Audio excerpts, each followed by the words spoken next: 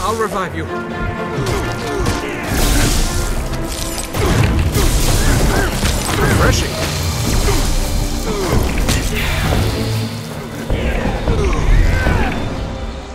You seem friendly. How do you do? I need healing. Seriously.